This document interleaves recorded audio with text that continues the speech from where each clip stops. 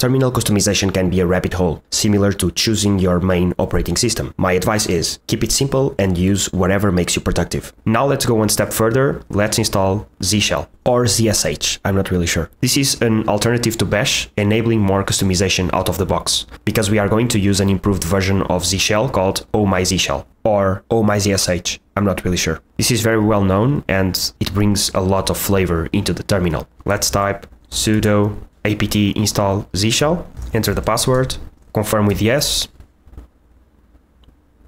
and we have zshell. If we open a new terminal and if we type zshell, we see the new zshell configuration, which is very minimalistic and this isn't what we want. We want to improve this using the oh my zshell. So we have zshell already. Let's go to github.com slash oh my zshell slash oh my zshell and here we can find the installation steps. We can install it using wget. So let's copy this piece of code, go to the terminal, paste it.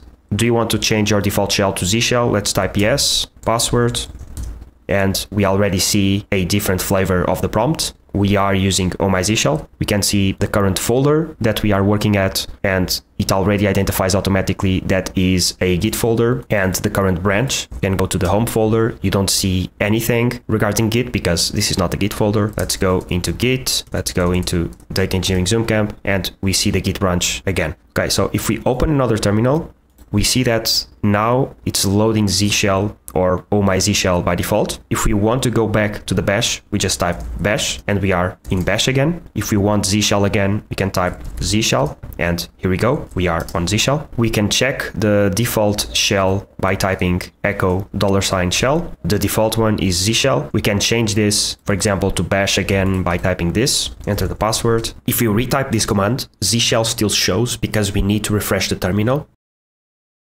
So now bash is a default one. Let's confirm that by typing this. Now it's bash. If we open it again, it's bash. Okay.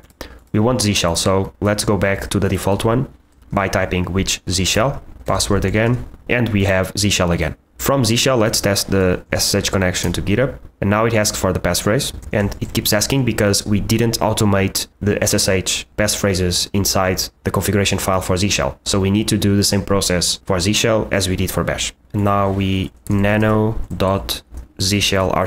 go down and we paste the code here. We save it, yes, enter. Now, when we open the terminal again, can test the connection to GitHub and it works automatically. Great. Oh my Z shell provides a cool auto-completion interactive functionality when you use tab.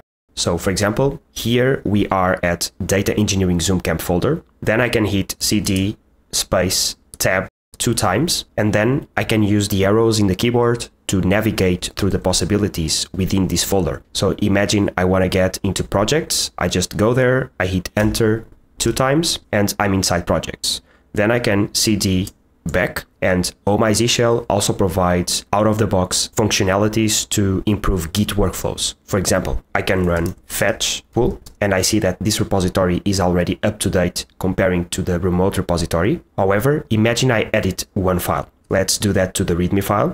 Let me add a hello world here. Let's save the file. Now you see there's an X here. This X tells me that I have unstaged changes. If I run git status, I see that readme.md file has been modified. And because it's unstaged and not committed yet, I see that I have changes to be committed. This sign tells me that. And this is just one example of terminal customizations that is possible. It really improves the way you interact with the terminal and can improve your productivity. Then if I run git restore space dot, I can ignore these modifications and the sign will disappear because our local repository is already up to date again. Cool.